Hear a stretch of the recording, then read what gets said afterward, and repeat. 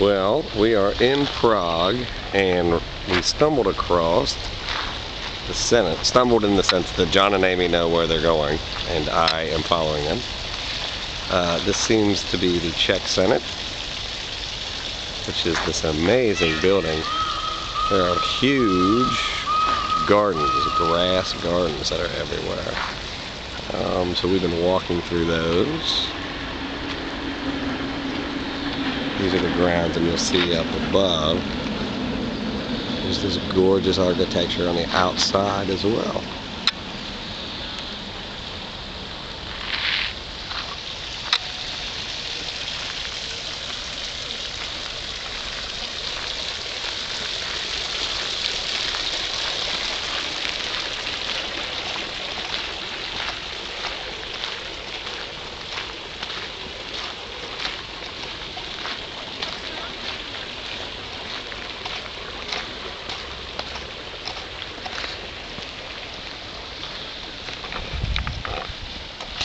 You'll see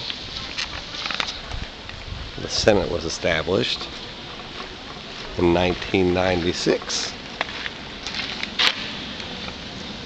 The flag on the right is the European Union, along with the stars. And the Czechs are currently the head of the European Union that rotates every six months. These are things I learned today.